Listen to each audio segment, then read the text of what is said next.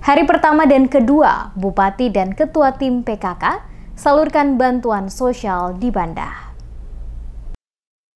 Bupati Maluku Tengah Tuasikal Abua bersama dengan Ketua Tim Penggerak PKK Maluku Tengah, Amin Ruati Tuasikal, dalam kunjungan kerjanya di Kecamatan Banda, melaksanakan sejumlah kegiatan. Di antaranya, menyalurkan sejumlah bantuan sosial kepada masyarakat setempat pada sejumlah desa negeri yang disinggahi. Bupati Tuasikal Abua mengatakan, penyaluran bantuan yang diberikan oleh pemerintah daerah adalah bentuk kepedulian pemerintah mulai dari tingkat pusat provinsi hingga kabupaten kota untuk membantu meringankan beban ekonomi masyarakat, terutama mereka yang terdampak langsung akibat pandemi COVID. Penyaluran bantuan oleh Bupati saat berada di Kecamatan Banda dimulai dari hari pertama di negeri Boyau, Waling Spanshibi, Kombir Kases Toren, dan di Pulau Hata. Di mana selain Bupati melantik sejumlah kepala pemerintahan desa, Bupati juga menyerahkan sejumlah bantuan sosial termasuk penyerahan pagu anggaran dana desa atau ADD dan DD tahun 2021 kepada setiap kepala pemerintah di setiap desa negeri. Hal yang sama juga dilakukan Bupati bersama dengan Ketua Tim Penggerak PKK yang melaksanakan sejumlah program PKK yakni penyuluhan kesehatan dan pengobatan gratis, pasar murah, dan penyerahan sejumlah bantuan lain lain dari tim PKK Maluku Tengah kepada masyarakat setempat. Mulai dari Desa Uring Tura, Dwi Warna, Nusantara, Lontor, rombongan Bupati bersama dengan Ketua Tim Penggerak PKK menyalurkan bantuan berupa penyerahan sembako bagi fakir miskin dan orang tua jompo, penyerahan bantuan PMT bagi ibu hamil dan balita, penyerahan kartu BPJS, penyerahan pagu anggaran dana desa ADD dan DD tahun 2021, penyerahan kupon pasar murah termasuk pelayanan kesehatan gratis bagi warga. Selain menyalurkan bantuan bantuan sosial, Bupati dan rombongan juga meluangkan waktu untuk berdialog dengan masyarakat setempat tentang berbagai hal menyangkut pembangunan yang perlu mendapatkan perhatian pemerintah kabupaten untuk dilaksanakan.